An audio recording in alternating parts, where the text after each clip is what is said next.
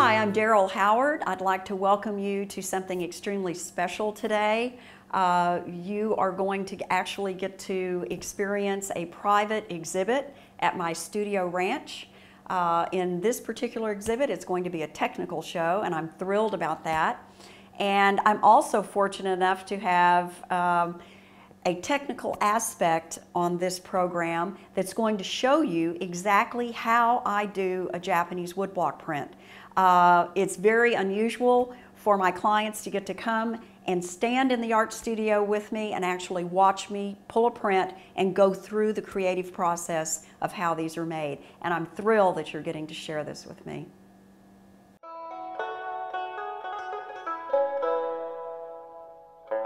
Japanese woodblock printmaking is a relief form of printmaking, and that means that first you have to do a color sketch and you break the design into multiple shape forms. Every color is a different wood carving, in other words, based on how many colors you have, that's how many blocks you're going to have to carve. So I do a color design. My images are abstract because I'm dealing with shapes instead of lines. And I have to, in the beginning, I transferred all of my images from a hand-drawn sketch to a block of wood, and I hand carved the wood with Japanese carving tools. Uh, around 1982, it was brought to my attention that I could not make a living doing one woodblock print a year, so a friend said you ought to try sandblasting. So I still have to do a color sketch on uh, tracing paper, basically, and I put carbon paper down, believe it or not, I could still find it, and traced one color at a time from my sketch to a sandblast stencil that had been applied to a Clearheart redwood. I would carve the stencil away. The redwood, I had to go to a special studio. The redwood would be sandblasted, but only the soft pulp of the wood would be blasted away. So I still had carving, but it increased my production up to five to seven woodblock prints, different images in one year. So that was wonderful. Three years ago, I had hand surgery, and my hand surgeon said, You can't do that anymore. So I got on the computer, I found a Japanese woodblock printmaker who was drawing his design in Photoshop on computer, sending one color at a time, drawn the same way I've been drawing, except with a stylus and a Wacom tablet, sending one color at a time to another computer, and the man who owned that computer has a CNC router. His computer first virtually routed my one color and then it was put onto the routing machine, and today a computer is routing my blocks. I was concerned about that as far as the integrity of what that means as, a, as an original graphic artist, and I actually took a museum curator to lunch, sat her down, and said, Is this going to in any way affect the integrity of my work as a woodblock printmaker? And she said, I think it's amazing. I, as a matter of fact, I would like to use those computer blocks in a museum show. How modern technology has affected an ancient art form. So that's the beginning, sketching and carving and bringing you up to date with the computer.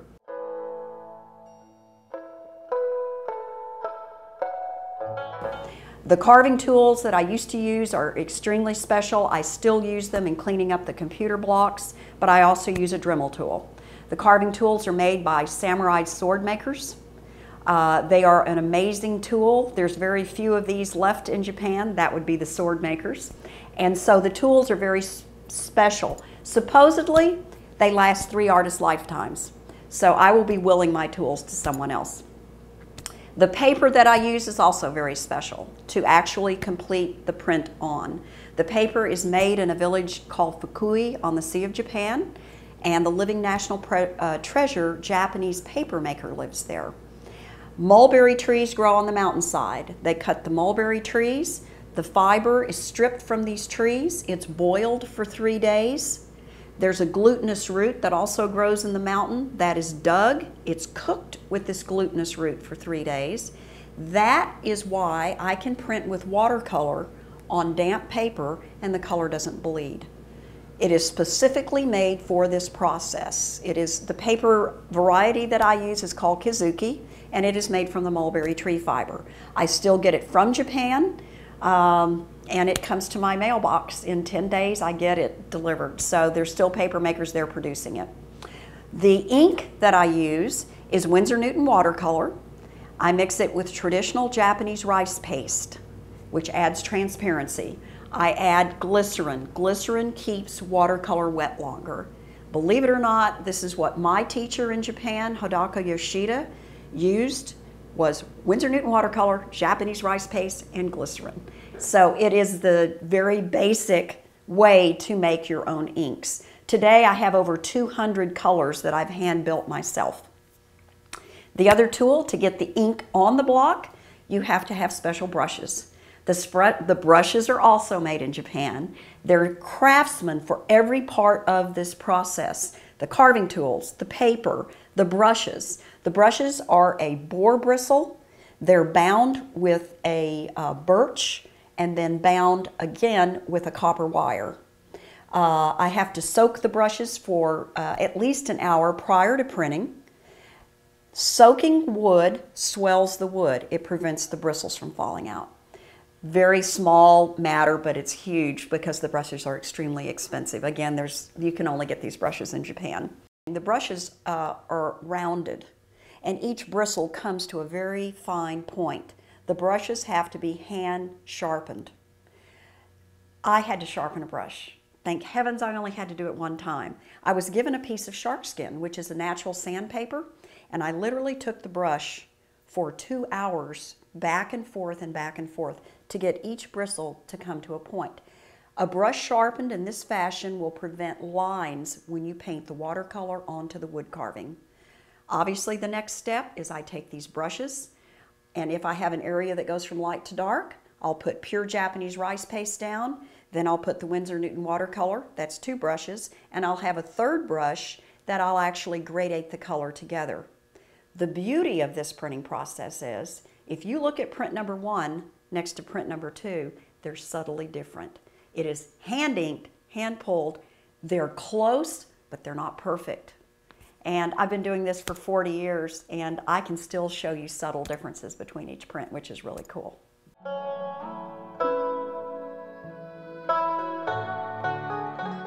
One of the things that makes my woodblock prints unique is that um, in the early 80s, I started using gold, silver, and copper leaf. And you might ask yourself, why on earth do you want to use leafing on a woodblock print that's done with watercolor and print paper? Um, in 81, I quit my teaching job and moved to the Hopi Indian Reservation. And I was with a, a, a Hopi Indian named Charles Loloma. And one day at tea, he said, when are you going to start using gold, silver, and copper in your work? And I said, I'm not a jeweler. And he looked at me in the eye and he said, figure it out don't ever tell me that. so I proceeded, oh, oh, oh, oh, and then, oh yeah, by the way, he said, when you do use gold, silver, and copper, use the very best gold and the very best silver and the very best copper that you can possibly get because it may be on the very best piece of art you ever make in your life and you want the best materials. So what I'm going to show you is the actual copper leaf. The copper leaf, you can see, is a very strong material. Uh, I apply a ground to the paper after the color's applied. Then I, with my breath, drop the leafing on and then burnish it with my finger. And I'm just going to drop this so you can see what it does. Uh, the next leaf I want to show you is sterling silver leaf. And the silver is finer. You can see that it's thinner. Uh, the copper, silver, and gold, after I've applied it, I do coat it so that it's not going to tarnish, just for everybody's heads up, because I've got some Japanese woodblock prints that had silver that are now black. The Japanese did not coat their silver, which is interesting. So the silver is a little more difficult to the copper, and I'll just let it go. And the next is the 22 karat gold leaf. And this is seriously like working with a cloud. This is the 22 karat gold leaf. This is the most difficult to work with. Uh, this leaf is Italian. I get it out of New York. Um, and it's very, very fine it is the most difficult thing to work with. It is like working with a cloud. So when if I can get it off of my hand, I'll let you see it fall. And it's very different than the copper. And the silver. Now I have a little bit left on me and some people go, well, how do I know that's really 22 karat gold? If you literally take your fingers and rub the gold that you can still see, it's gone. You can tell it's 22 karat because now it's just been absorbed into my body. And that is really cool because it's also, uh, there's also therapists that use this as therapy. There's people that eat 22 karat gold. So I've just had a therapy treatment in front of you.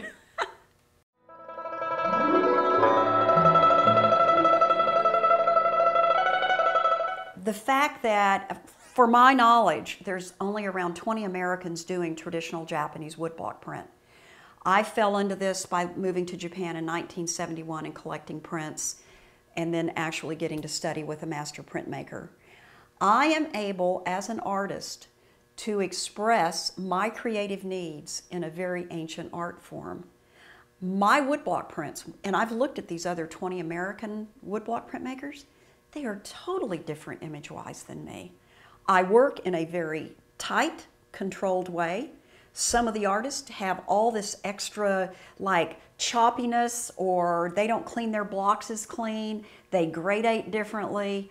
Um, I have developed my own style and my own imagery in this process and it meets every need that I've got as a, as a visual artist. It is an amazing process.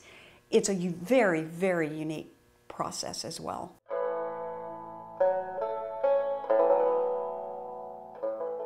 If I look at the very first print that I did, and I look at me moving to the Hopi Indian Reservation in the 80s, and my imagery shifted, but also my technique shifted. I went from printing a color only one time to printing colors two, three, four times to get rich, deep, intense color. I started adding embossing, which is no color on a block, where the paper's just pressed into the wood. Not my idea, but including that in my work, again, evolved. What I'm doing today is extremely detailed work. Why? I am still playing with the process of drawing on a computer, and I know that that's affected the way the imagery is working at this point.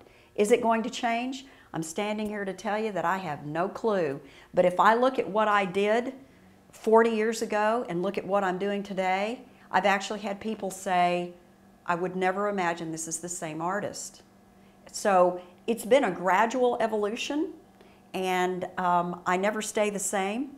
My colors evolve, my images evolve, and it's what keeps me alive and keeps that fire in the belly going.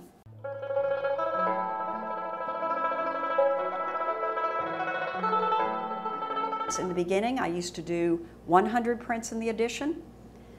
I changed probably 15 years ago to 75 prints in the edition, and last year I've reduced my number to only 50 prints in the edition.